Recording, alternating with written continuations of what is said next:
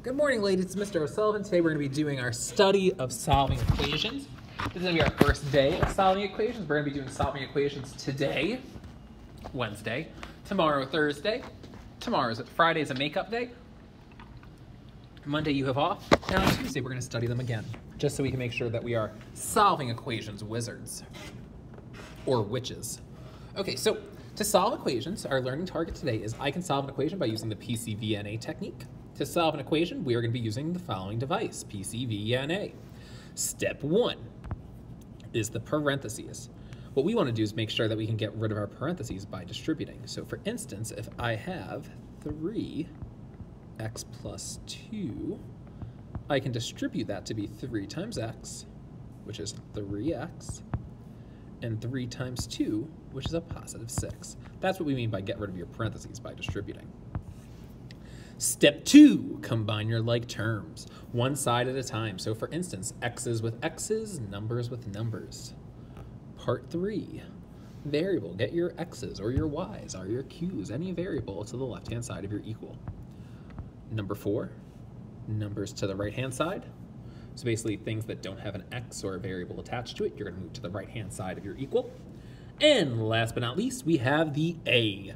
You would think A stands for answer, but no, A stands for get rid of the number attached to your x by dividing. Good. So that's our procedure we're going to be using. Make sure you live it, you love it, you laugh it, tattoo it, whatever you need. So we are going to first do level one questions. Level one questions are one-step equations. So we typically start out with the equation, and it's only going to be one step. That's not how it is 99% of the time, but for today, it'll be 33% of the time. So we have x plus 7 equals 37. So here's what I need us to say to ourselves. We know that we have addition, subtraction, multiplication, and division. The way we get rid of addition is to subtract it, and the way to get rid of subtraction is to add it. The way to get rid of multiplication is to divide it, and the way to get rid of division is to multiply it. So here's what we want to do. We want to get x by itself. So we have to go through the procedure and say to ourselves, do we have parentheses? No, we don't, so we go on to step two. Can I combine my x and my 7? Can I combine these? No, I can't because they're not like terms. Part 3 says move your variable to the left-hand side of your equal. Well, my x is already over here. Number 4, get your numbers to the right-hand side of your equal. So I want to get rid of this positive 7. So to get rid of this positive 7, I'm going to subtract 7 from both sides. My 7's cancel, and I get x equals 30, because 37 minus 7 is 30. Now I have 3x equals 9. So I don't see any operation, I don't see an addition, I don't see a subtraction, but I do see a multiplication because my 3 is attached to my x. So this is a sign of multiplication. We said before that the way to get rid of multiplication is to do some division. So to get rid of a multiplied by 3, we're going to divide by 3.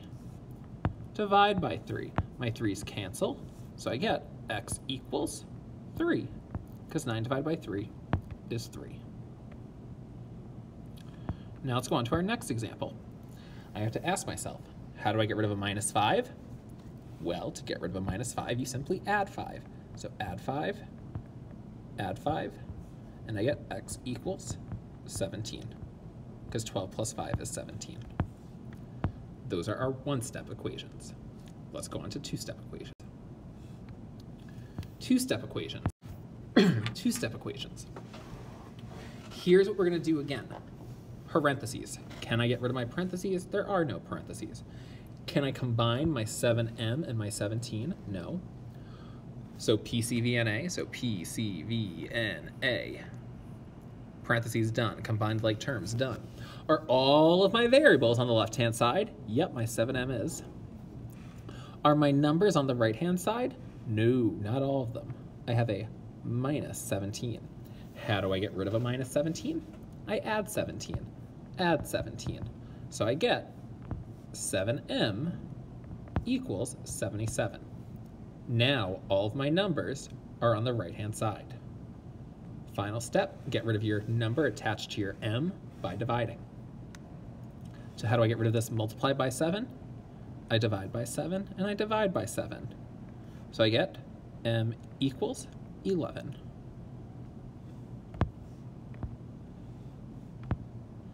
Now let's go on to our next example. I'm going to write out PCVNA. You know me, PCVNA.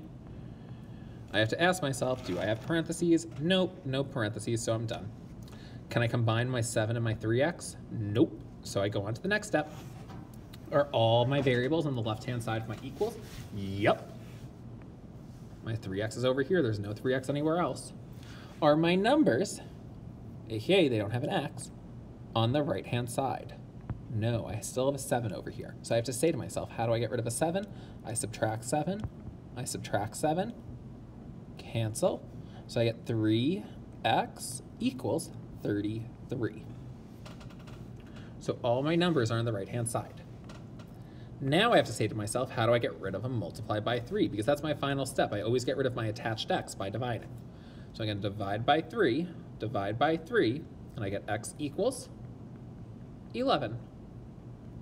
That's your final answer. Now for 12 plus 5y equals 27. Try to do this one by yourself. So when doing this example, you should subtract your 12 first. And when you subtract your 12, your 12s are going to cancel, and then you get 27 minus 12. 27 minus 12 is 15. I now have a 5y that I'm multiplying, so I need to get rid of my multiplication by dividing. So I divide both sides by 5. My 5s are going to cancel. So I get y equals 3. That's your final answer. Now this one, try to do this one as well by yourself. So I'm going to subtract 8. So first PCVNA, so PCVNA. Do I have parentheses? Nope. Can I combine my 8 and my 6x? Nope. Are all my x's on the left-hand side? Yep. Did I move my numbers to the right-hand side? Nope. So I have to ask myself, how do I get rid of that positive 8? I subtract 8 from both sides. So my 8s are going to cancel. So I get 6x equals negative 4 plus a negative 8, or negative 4 minus 8. Negative 4 plus a negative 8 is negative 12. And then I get rid of this 6 by dividing. So I get x equals negative 2. And that's your final answer.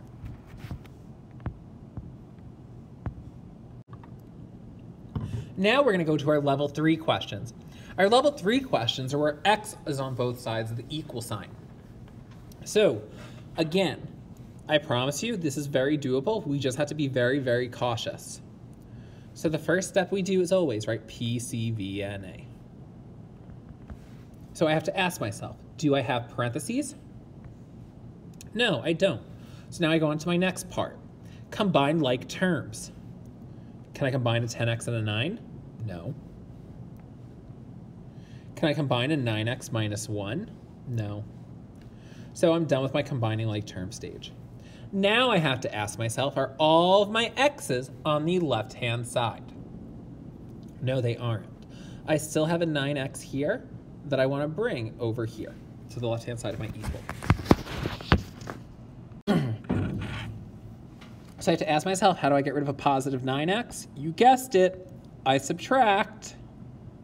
Subtract, subtract. My 9x is canceled.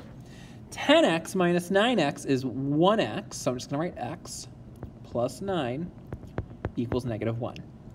My variables are all on the left-hand side, and this just turned from a two-step equation to a one-step equation. So how do I get rid of a positive 9? Because I want to get all my numbers to the right-hand side. You got it! I subtract 9. Subtract, subtract, and I get x equals negative 1 plus a negative 9 is negative 10.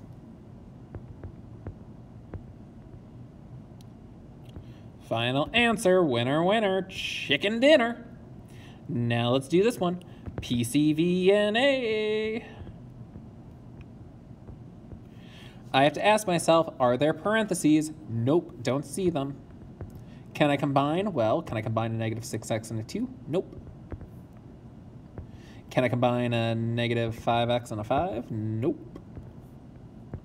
So I need to cross that out now. So now I have to ask myself, are my variables on the left-hand side? Well, if you inspect the right side of your equal, I still have a negative 5x. How do I get rid of a negative 5x? I add 5x to both sides.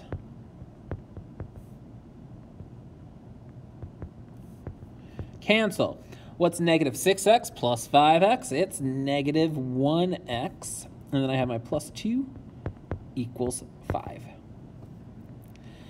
Now I have to ask myself, all my variables are on the left.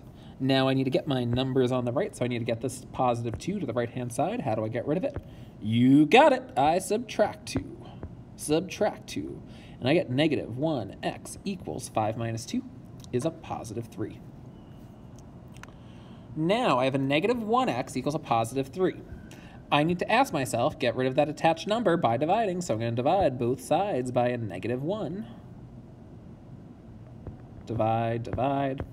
What's 3 divided by a negative 1? You got it. x equals negative 3. That's it. Now, try to do this one by yourself. Okay, so for this example, I asked myself if I had parentheses. I don't, so I'm done with that level. Uh, ask myself, can I combine? I can't combine a 1x and a 5, and I can't combine a 5x and a 25, so I go on to the next step. Are all my variables on the left-hand side? Nope, so I had to subtract a 5x from both sides of my equal, and I ended up getting negative 4x plus 5 equals 25 because my 5x is canceled. Now I have to ask myself, how do I get rid of that positive 5? I subtracted 5 because I need to move my numbers to the right-hand side, so my 5's cancel. And now I'm left with negative 4x equals 20. I get rid of it by dividing by a negative 4. So I get x equals negative 5. And that's your final answer. Now let's do this one together. So I have PCVNA. Do I have parentheses? Nope. Can I combine anything? Nope. Can't combine a negative 8x and a 3 and can't combine a negative 6x and an 11. I have to ask myself, are all my variables on the right left-hand side? No, I have a negative 6x on the right-hand side of my equal. So I need to find a way to move this negative 6x to be over here with my negative 8x.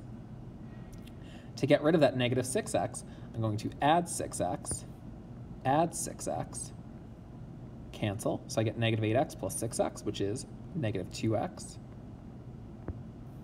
plus 3 equals 11.